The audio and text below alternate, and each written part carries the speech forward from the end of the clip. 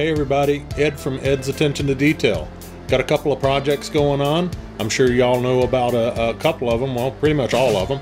Anyway, build the Buffalo. So I wanted to show you an update on that. I uh, got a little bit done on the hoof, and uh, I tried to do the spray foam. You'll remember that from the previous video. Well, when I tried to use the spray foam, the nozzle broke off the can, so I got to get another can of spray foam. But anyway, I'm still going to give that one a shot and see if that works. I'm going to show you an update on the Bumblebee Camaro Transformers build that I'm doing. And uh, you can kind of see that one back here in the, in the background. Got some paint on it.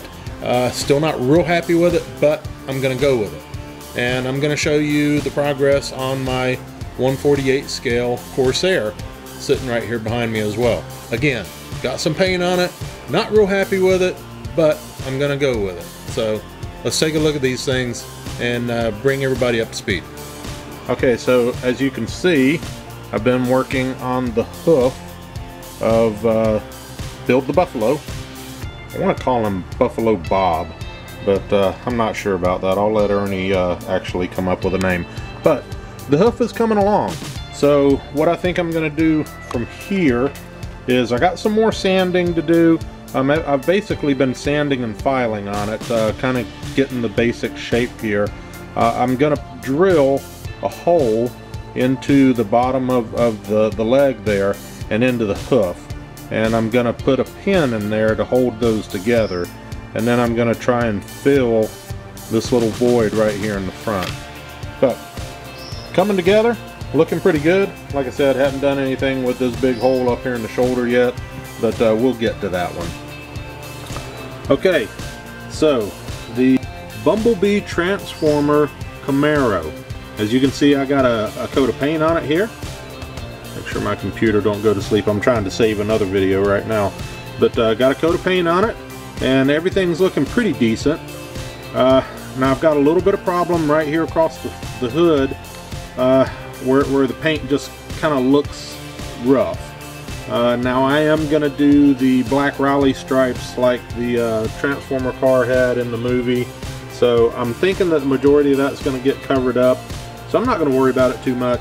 I've already had this one in the uh, the super clean bath um, once, maybe even twice, I don't remember.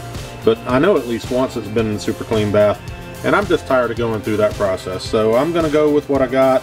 And uh, we'll see how it turns out. Now, 148 scale Corsair. Got the paint on it. And as you can see, uh, it looks decent, but the paint is not very smooth. I got the bottom of it sprayed, and you can see that that looks really nice. Okay, so I sprayed that one night, and I let it dry. And I was going to come back and spray the top the next day. And for some reason, the nozzle on the spray can started messing up and it was just spitting paint. And so I think that's where I got that rough texture from. Um, I actually switched paints in the middle of all of this and went with a different color blue on top than I got on the bottom.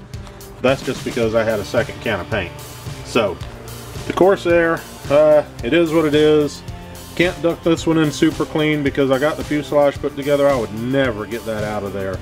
Uh, so if you look real close right here around the canopy, I've got a, a, a really high edge right there. I'm going to have to file that down and try and smooth that out. This canopy just did not fit on this uh, this model very well at all. Uh, I did some filing up here in the front. It's not perfect, but it's I'm going to kind of live with that one and then I got to go around and I still got to paint around the edges uh, kind of hide that uh, that glue mark there. I don't know what this green is right here. Um, I have to see if I can get that out. But anyway Corsair is not going to be perfect. Uh, and, and, I hate that because that's uh, what I strive for on, on all my builds. But like I said before it is what it is. So those are my three projects right now that I've got going on. Uh, well, that aside from work, family, uh, packing up, getting ready to move, and uh, YouTube creating.